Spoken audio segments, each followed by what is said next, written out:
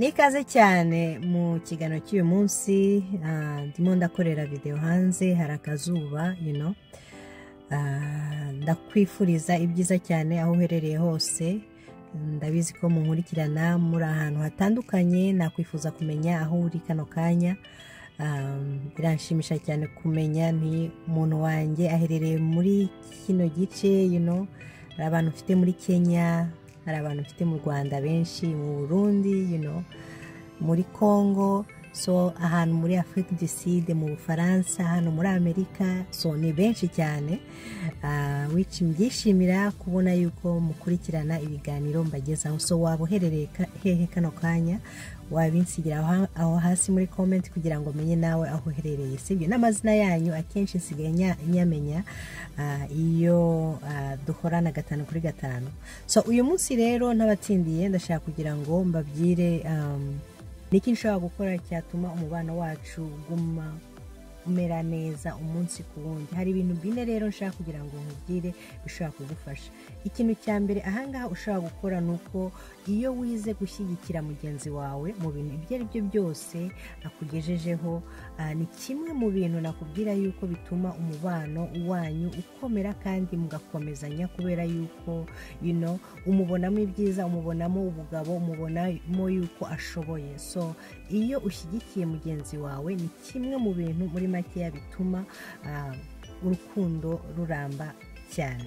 Ashobora kuba afite ibitekerezo muri makeya. Iyo wicaye ukabiha valere know, ntubisubize inyuma. Ikintu icyo ari cyo cyose akuzaniye muri makeya ukagiha importance iki ni ikintu nakubwira yuko gituma umubano wanyu unoga kandi ugenda ukura umunsi ku wundi mukazigeza kure cyane kubera yuko uta, uta um, utasubije inyuma ibitekerezo bya mugenzi wawe. Mbese uri aho ngaho kugira ngo wumve yuko ushyigikire mugenzi wawe. Ah, ubuzima bwanyu bugende bukura umunsi ku wundi buba ubwiza muva muri ubu bwiza mujya mu bundi umunsi ku wundi. So mbese uri aho ngaho kugira ngo icyo kintu ugikore muri uwo mubano wawe. Wumve ko ariyo devuware yawe yo kumva yuko you know, ushyigikiye mugenzi wawe.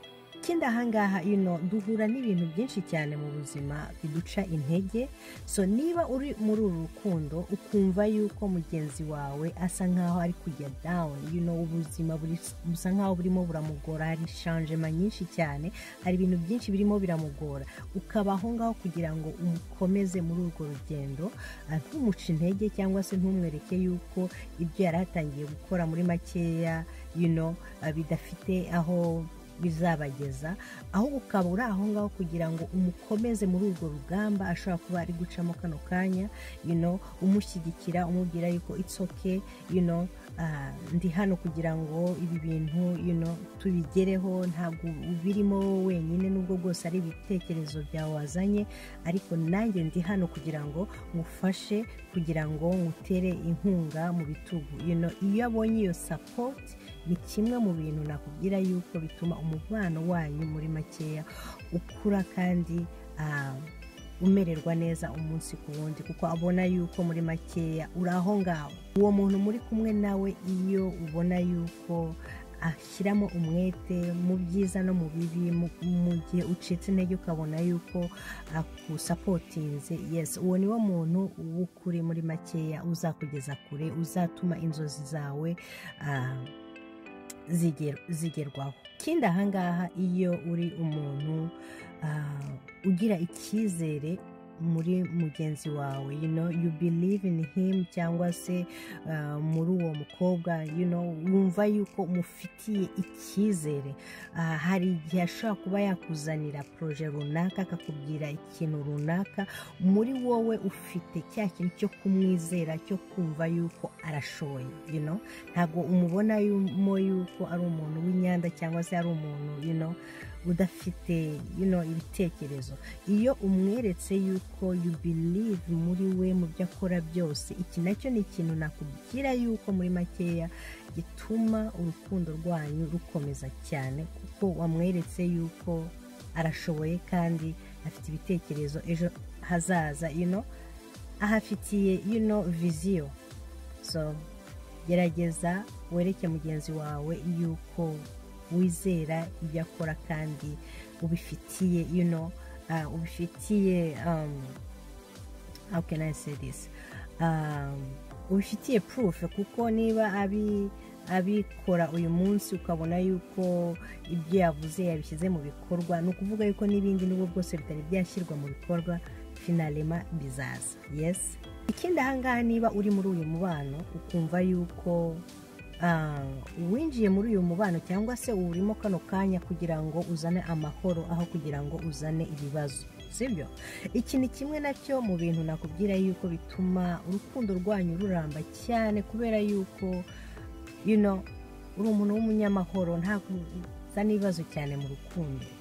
Woroshya ubuzima hari abantu bakomeza ibintu cyane. Akantu gatoya gusa bakakagira intambara ariko niba ushaka kugira ngo uyu mubano wanyu urusheho kubaho mwiza umunsi ku wundi ni uko uharanira tujuru yuko uzana amahoro mu rukundo rwanyu uzana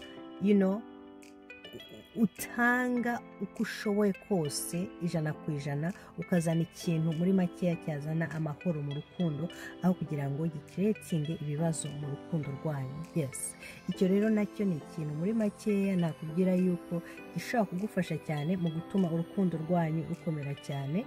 Iyo wirinze kuba nyirabayazana w'ibibazo mu rukundo uzana buri kintu cyose ukakigira intambara you know, ubuzima ni bugufi cyane. Hari igihe abantu baba baraciye mu bintu bishaririye byinshi cyane you know, niba ngize amahirwe nkakuza mu biganza byawe nawe ugatangira kuntesha umutwe ah wumva yuko isi ikurangiriyeho. So gerageza ubane na mugenzi wawe uharanira icyo kintu you know, uvuga uti i don't know this person. Ashobora kuba yaraciye mu bintu byinshi cyane you know, reka ngerageze nzane ikintu icyo ari cyo cyose cyamuzanira amahoro aho kugira ngo nzane ibibazo umunsi ku wundi you hari igihe abantu baca ndetse muri trauma nyinshi cyane ukumva yuko ibyo waciyemo nawe ugomba kubizana muri uwo mubano. No ugomba kubyevita ukavuga uti kugira ngo nkomeze urukundo rwacu kugira ngo ngere aho numva yuko muri makeya inzozi zanjye nzazigeraho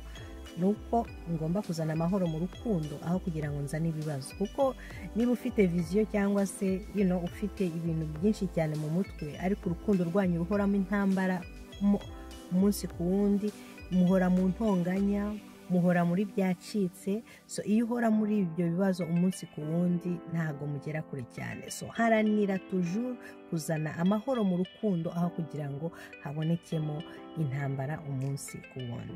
Yes ni byo bintu bine rero nari mbafitiye uyu munsi nizera yuko hari umuntu uri kureba iyi videwo bizaza gufasha niba bigufashije wibuke guha thumbs up iyi videwo ikindi ukore share ku bantu abo ari bo bose bashobora kuba iyi mesaje yabafasha mu gutuma urukundo rwabo rukomera aho kugira ngo rusenyuke. Turi kumwe rero imana ibakomeze aho muri hose aho ubutaha. Cicaho Bye bye.